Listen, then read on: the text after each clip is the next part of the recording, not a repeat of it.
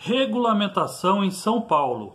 O Marlon fez uma live de uma hora e eu vou resumir para vocês aqui. Como vocês sabem, a regulamentação entra em vigor amanhã, então a partir de amanhã já haverá fiscalização em São Paulo.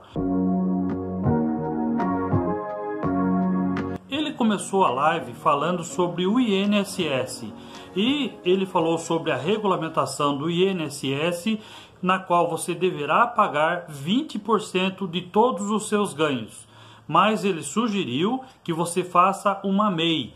E através da MEI você vai pagar apenas 55 reais, então resolve o problema do INSS. Depois ele falou sobre placas. Qualquer veículo que seja de placa de fora de São Paulo pode sim trabalhar em São Paulo por força de liminar.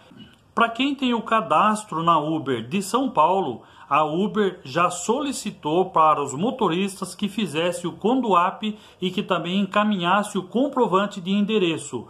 Você tem que cumprir essas duas etapas, fazendo isso para que você possa trabalhar amanhã em São Paulo. Se você estiver correto com essas duas situações, ter feito o curso do Conduap e também encaminhado já a documentação de endereço, seu comprovante de endereço, você já está quites. Não precisa andar com papel nenhum na mão, porque esses dados que você fez do seu curso e também do comprovante de endereço, a Uber já vai encaminhar para a prefeitura. Tanto a Uber quanto a 99 também já vão encaminhar para a prefeitura. Então a prefeitura, na hora da fiscalização, já vai saber se você encaminhou o comprovante de endereço e também se você já tem o curso realizado pela Uber, pela 99. Inclusive o Marlo ressaltou que você pode utilizar o seu Condutax.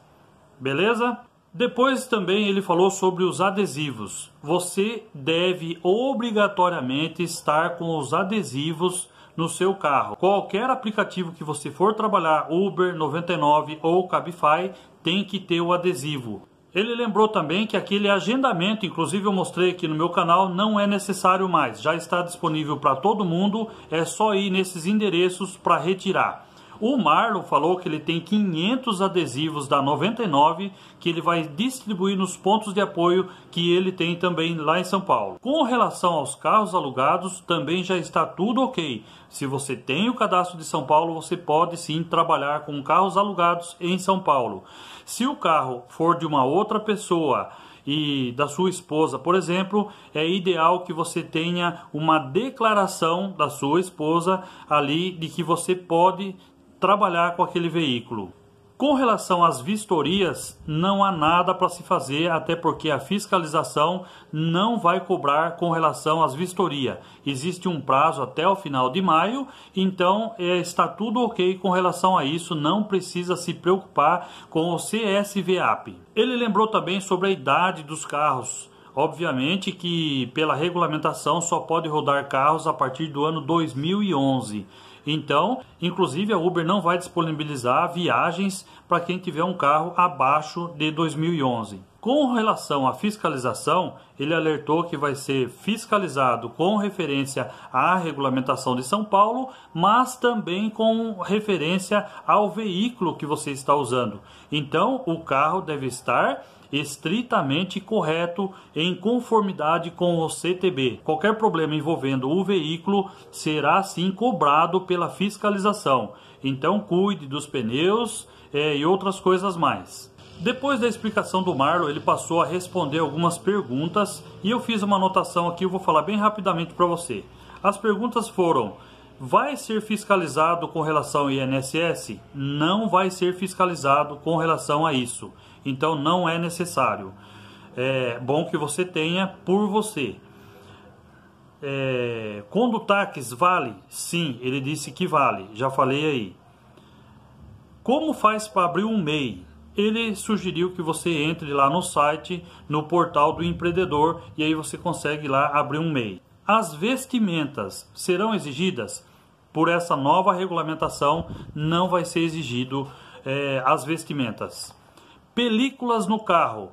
É, as películas serão cobradas sim pelo agente fiscalizador é, de trânsito, é, inclusive se ela está na conformidade com o CTB. Pessoal que roda pela Cabify, ele disse que é só mandar um e-mail que a Cabify está respondendo todas as perguntas através do e-mail. Regulamentação só em São Paulo? Sim, a regulamentação ela é válida só para São Paulo. Luminoso pode ser utilizado? A determinação é que seja utilizado apenas os adesivos registrados na prefeituras, que são aqueles que são entregues pela Uber e pela 99. Placa de fora pode rodar? Se você tem cadastro de São Paulo e está quites conforme a, o seu comprovante de endereço e o seu conduap, você vai poder rodar. Outra pergunta: quem está no seguro-desemprego, se fizer o INSS, perde? Perde porque se você está no seguro-desemprego, você vai comprovar que você já está trabalhando. Com certeza você perde. Quem não conseguiu fazer o curso com do app, é para você ir pessoalmente lá na Uber questionar sobre isso, porque você não recebeu o código de acesso para você fazer o curso.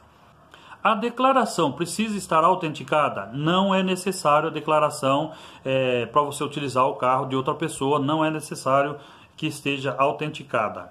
que mais? Alguém perguntou aqui sobre o Rebu para iPhone, ele falou que já estão evitando esforços para ser é, também disponível para a versão do iPhone. É, com relação a você estar usando ali um adesivo da 99, pode ser excluído pela Uber?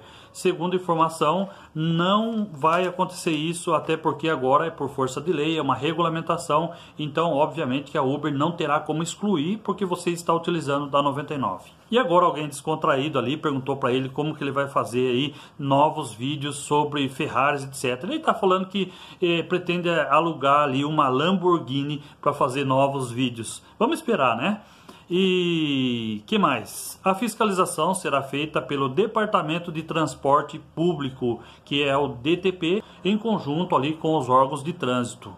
E é isso, tá bom? Então, resumidamente, foi isso que aconteceu na live dele de uma hora. Eu estou colocando aqui para vocês em alguns minutos. Eu sei que nós não temos tempo de assistir toda a live dele de novo, mas eu vou deixar aqui o link na descrição da live dele. Se você tiver um tempo depois, assista. Mas essa, esse é o resumo que eu queria passar para vocês. Ah, outra coisa, o Marlon lembrou bem que a multa é bem cara para quem for pego fazendo esse tipo de serviço de aplicativo em São Paulo e não estiver dentro da regulamentação são R$ 4.500 para quem estiver fora da regulamentação. Então, eu sugiro que se você não está nas conformidades, você nem apareça ali naquelas regiões, principalmente ali no aeroporto né, de Congonhas, é, rodoviárias e alguns outros pontos que a gente imagina que deve ter a fiscalização.